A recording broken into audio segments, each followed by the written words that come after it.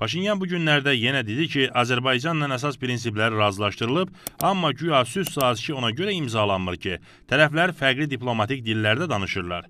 Təxminən 1-2 həftə bundan əvvəl də bildirmişdi ki, Bakı və İrəvan bu yaxınlarda sülh sazişini imzalaya bilər. Amma sonra Parisə sülh konfransına getdi və orada xeyli Azərbaycanın və rəsmi Bakının qarasınca deyindi. Maraqlıdır ki, bu dəfə Ermənistan parlamentinin spikeri də Nikolun dediklərini təsdiqləyib. O da bildirib ki, tərəflər arasında artıq razılıq var və prinsiplərin əksəriyyəti üzrə artıq razılıq əldə olunub. O ki qaldı rəsmi Bakıya, o öz mövqeyini dəfələrlə bəyan eləyib və sülh sazişini imzalamağa hazır olduğunu bildirib. İndi top Ermənistanın tərəfindədir. Amma çox təəssüf ki, Paşinyan qəti addım atmaqdansa özünün yeni dostlarının oyununu oynamaqdadır. Gah Azərbaycana qarşı məhkəmə açır, gah da onu təcavüzkarlıqda ittiham eləyir. Olsun, amma Nikol iki məqamı unutmamalıdır. Birincisi sülh sazişi Bakıdan çox İrəvana lazımdır. Nə qədər ki sülh sazişi imzalanmayacaq, sərhədlər açılmayacaq, blokada da götürülməyəcək. İrəvan bunu 2 üstəgəl 2 kimi bilməlidir. Parisin onun üçün göndərdiyi 2-3 sınıq salxaq hərbi maşından kök olmayacaq. Elə Amerika və Fransa da öz siyasətlərinə korrektələr etməlidirlər. Xüsusən də Amerika.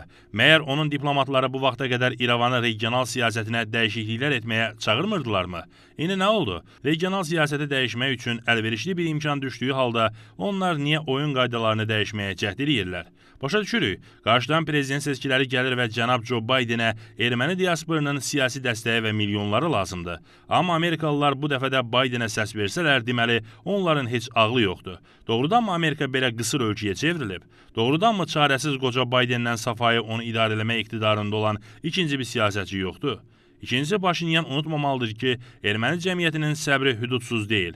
Bu ölkədə revanşist müxalifət hələ ki heç nəyə nail olmayıb. Bütün sərsəm siyasi gedişlərinə və variasiyalarına rəğmən cəmiyyət hələ də Nikola dəstək verir. Erməni cəmiyyəti Dağlıq Qarabağ savaşının bitməsini istəyir və hətta keçmiş Dağlıq Qarabağın itirilməsi ilə razılaşıb.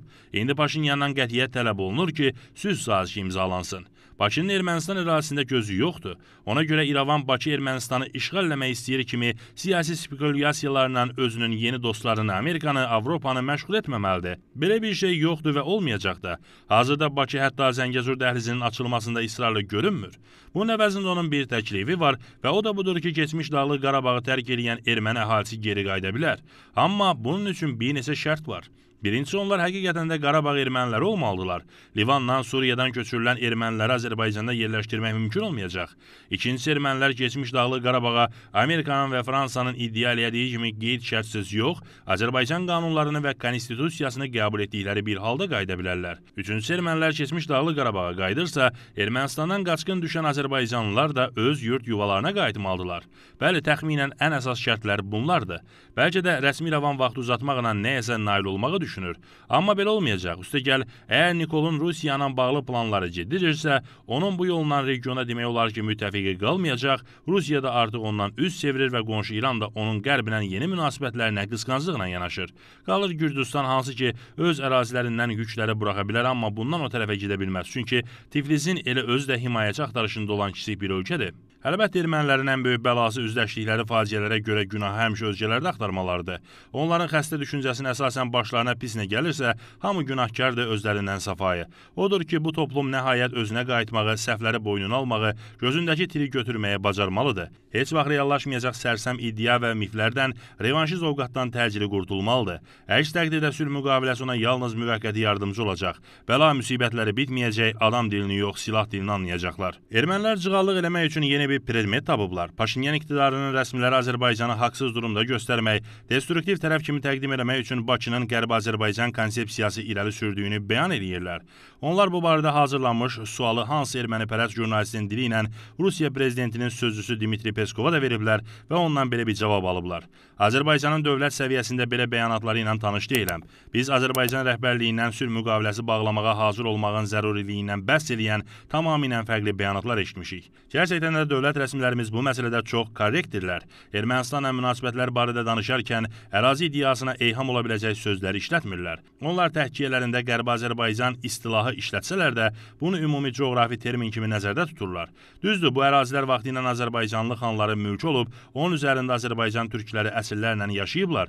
Ancaq hazırda İrəvan, Göyçə, Zəngəzur, Vedi kimi tarixi mahallarımız Ermənistan Respublikasının ərazisidir və ölkə BMT-də məhz bu əraziləri ilə tanınıb. Həmin mahallardan söz düşmüşkən Azərbaycanın yeganə iddiası vaxtı ilə orada yaşayan əhalinin geri qaytarılması ilə bağlı ola bilər. Fikir verirsə dövlət rəsmiləri oranı qaytaracağıq, yox, oraya qayıdacağıq deyirlər. Ancaq 44 günlük müharibənin başa çatmasından sonra Azərbaycan ictimaiyyətinin müxtəlif təbəqələrində Qərbi Azərbaycan, Şərqi Zəngəzur barədə söhbətlərin artması ermənilərin əlinə gərginlik ocağı yaratmaq üçün bəhanə verib. Onlar bunu ayrı-ayrı ictimai qrupların müzakirə predmeti kimi yox, Azərbaycan dövlətinin növbəti iddiası kimi qələmə verməyə çalışırlar.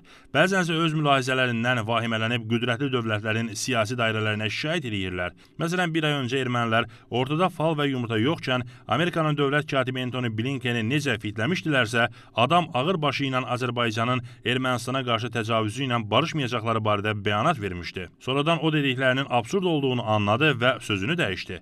Belə bir təəssürat yaranır ki, sanki Ermənistan əslində Azərbaycanın onun ərazisinə iddia eləməsini, hətta bir neçə yaşayış məntəqəsini nəzarətə götürməsini istəyir. Bu rəsmi İrəvan Azərbaycan-Ermənistan münaqişəsini yenidən BMT səviyyəsinə çıxarmağa, ölkəmizin birmənalı olaraq hərbi təcavüzkar kimi tanıdılmasına rəvac verərdi. Təəssüf ki, bəzən bizim ictimai siyasi fəallar ardıcıl qələbələrin bəxş elədiyi eyforiyaya qapılaraq Zəngəzurdan girir, Ordubaddan çıxır, Naxçıvanla Zəngilan arasındakı ərazini götürür, hətta bu o qədər də asan iş deyil deyənləri qınayırlar.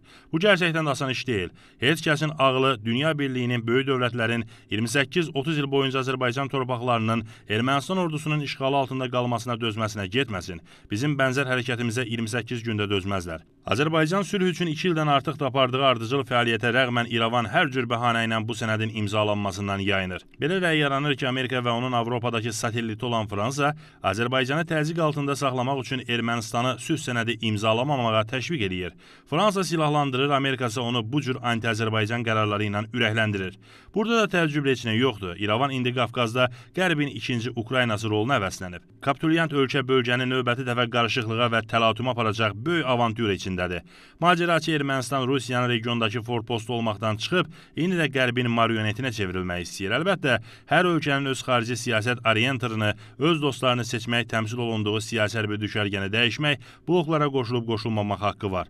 Ancaq iş ondadır ki, İrəvan bunu müstəsna olaraq bizim hesabımıza Azərbaycanı hədəfə gətirmək hesabına reallaşdırmağa çalışır. Üstəgəl əlavə bonus kimi kollektiv qərbdən Qarabağla bağlı nəsə qoparmaq niyyətindədir.